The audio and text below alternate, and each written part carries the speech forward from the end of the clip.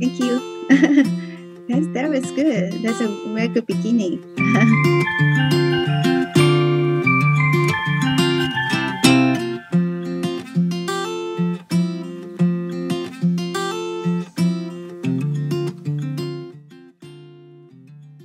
Five point four uh, indefinite integrals and the Net Change theorem. Okay, now this um, this is an indefinite integral. The upper and lower limit are not specified. Okay, uh, we have all those rules right here. Okay, so the constant multiple rule, you can bring out this constant in front of the integral.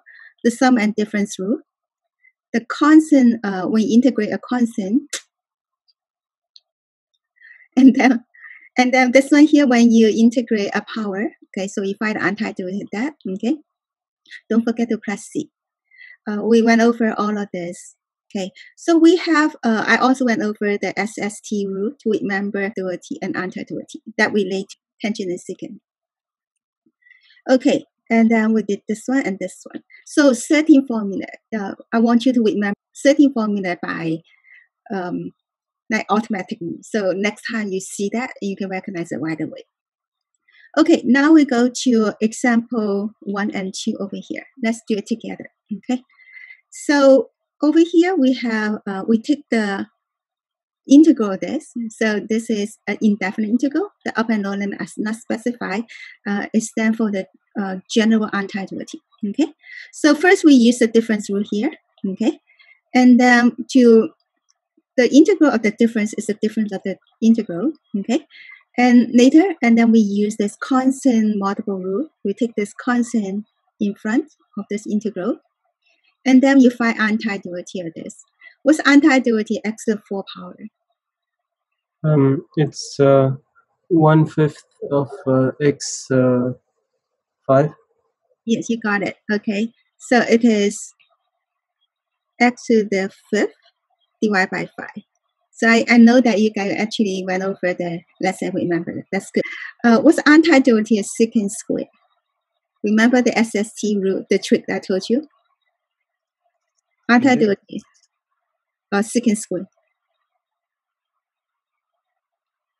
Tangent x. Tangent x, right? So remember our SST. Okay, so SST. So the derivative of tangent is secant square.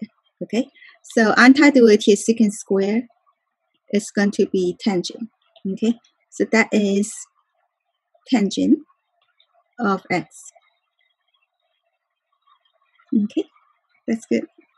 Now uh, you just need to simplify this. So, so to simplify this, we'll get 2x to the fifth minus 2 tangent x. And don't forget to press the constant c. Okay, good.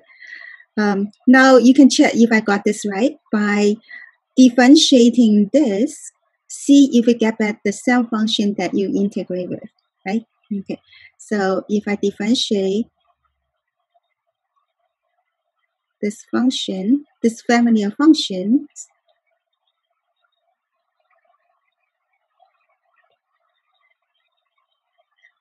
well, indeed, is equal to this function that we integrate with. Okay, so that's it. Okay. Now the second one over here, we try to integrate, uh, find the integral of this. Okay, the integral of this. Now, first of all, what would you like to do? Well, let's do some algebra first. Right, right now it doesn't match with any function in the uh, anti-derivative table, right? So let's try to do some algebra. Try to separate this. So we're going to separate this into 1 over sine theta and then times cosine theta over sine theta now, why do I want to do this? Um, because I think it's going to match with something that is uh, that we are familiar with in the integration table. Okay. Okay. So what's one over sine theta? Now you can review the trigonometry, right? What's the reciprocal of sine theta? okay. Now let me teach you uh, also a, a trick to remember that. Okay, sine, cosine, tangent, secant, cosecant, cotangent. The reciprocal of sine is cosecant. Reciprocal sine is secant. Uh, reciprocal tangent is cotangent. So reciprocal sine here is cosecant. Okay, so that is cosecant theta. Cosine theta over sine theta. What function is that? That's uh, 1 over 10, so cotangent. Yes, cotangent theta. You got it. Okay, so cotangent theta. Now you look at this function that we integrate with. Okay, um, so think about what function when you differentiate differentiate give you cosecant theta, cotangent theta. Do you guys remember that? Hmm. it's right here. Okay, so uh, remember the table above. Okay, formula eleven. Uh, cosecant theta, the derivative is negative cosecant theta, cotangent theta. So to undo the negative side, you put negative side over here. So the derivative of negative cosecant theta is cosecant theta times cotangent theta. So this is the one. Okay. Okay. So so we're using that formula 11 in the table above, right? But I would like you to remember uh, remember this by heart. Okay. Okay. Now, so the two example above, uh, those are indefinite integral. The upper and lower limit are not specified. Okay. Now I'm going to have examples three, four, five they are definite integral. So the upper and lower limit are specified. Okay. So the result will be number. The one that we have before here, those are indefinite integral. The results are families of function. So those are family function. So think about those function uh, when you grab them, they're going to shift it, okay, up or down, okay, like that. Those are family function definite integral, the result should be number. Okay, the number right here. Okay, so like this one. So upper and lower limit specified. That's a definite integral. So we remember the fundamental theorem of calculus uh, part two. So we find anti-derivative of this. So let's find anti-derivative of this function. Okay, anti what's anti-derivative x cubed? Everyone? x to the now remember um Fourth. yeah And fourth anti- x to the fourth. yes right so when you take anti-derivative x to the n for n not equal to negative 1 you will increase this exponent by 1 and divide by that exponent right here right divide by n plus 1 okay that's right so anti-derivative x to the n is x to the n plus 1 divided by n plus 1 and then plus a constant so the anti-derivative x, x to the is x to the 4 power. Okay, you just set that. And then divide by 4. So you got it. Okay, and then the 6 over here uh, is a constant multiple. So we have this 6. And then we take anti-derivative of x, which is what? x to the, Square divided by 2. you got it? Okay, x squared divided by 2.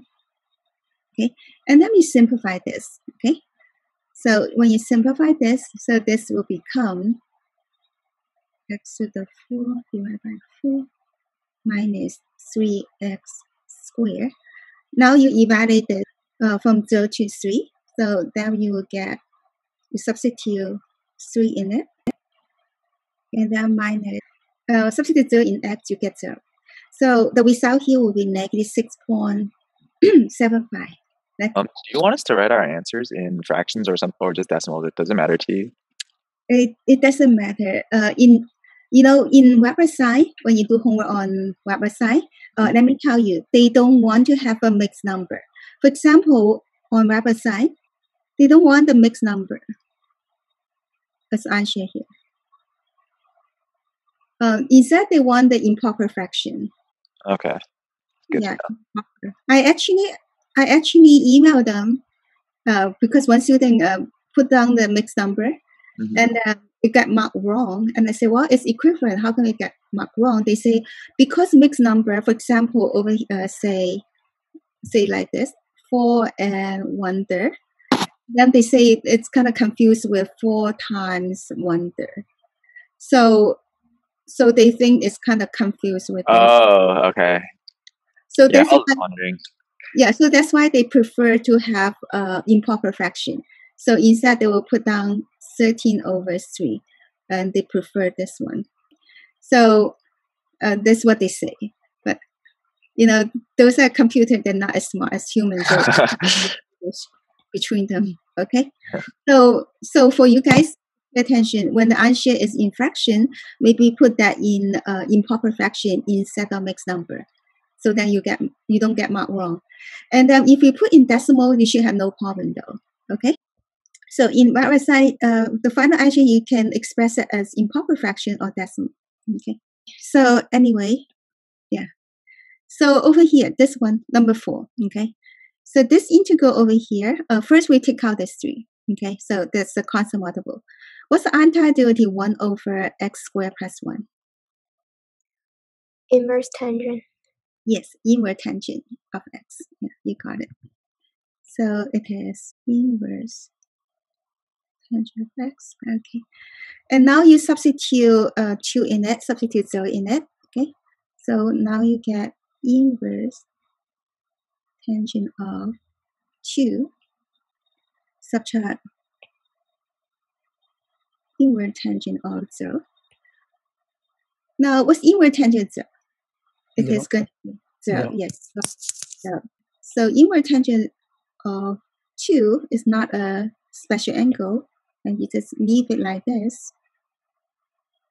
You don't you don't try to write the approximation. Okay, so this is the exact answer. Okay, so if you put the decimal approximation, that's not the exact answer. Okay, this is the exact answer. So leave if they want the exact answer, leave like this. Okay, number five. Now this one over here, um, this quotient, uh, you don't see the antiderivative, right? But if you s- separate this, okay, so this is the common denominator. Each term on top divide by this denominator. You can separate them into three terms, and they are, then you can integrate each one separately. Okay. Now here we'll show you how to do this algebra, how to how to get from this to this. Okay. Okay. Now, now remember the power rule. When you take antiderivative t to n, is t to the n plus 1 divided by n plus 1. And over here, to rewrite this, to separate them into three terms right here, uh, each term will divide by this common denominator. And you do the algebra, you get this. Okay. Now, what's antiderivative 2? Anyone? 2t. 2t, right? So we have. Since we're using the variable t, so just put t right here, okay? 2t. Okay, and then plus, uh, what's antiderivative t to the 1 half power? two thirds t to the three over two. Yes, you got it. So that will be, now when you take antiderivative, exponent increase by 1. So you add 1 to that. So that will be 3 half.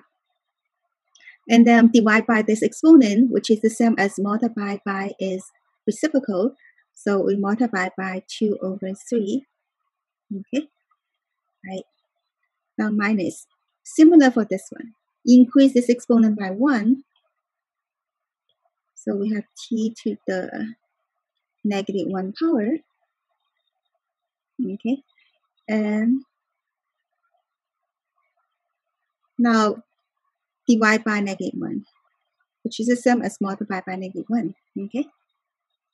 Now you go ahead and substitute this 9 into t and substitute 1 into t and then subtract right here. Then this is the number. That's the result. Any question over here?